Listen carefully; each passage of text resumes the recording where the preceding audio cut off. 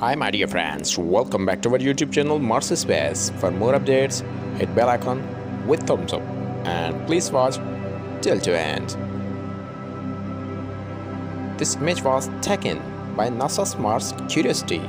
Mars Curiosity rover captured this stunning video footage of Mars surface with Mastcam left.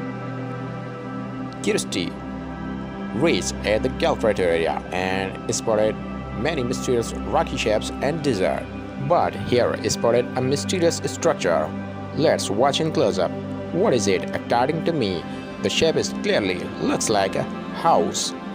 Here is an entrance and two doors. Possible house of Martians?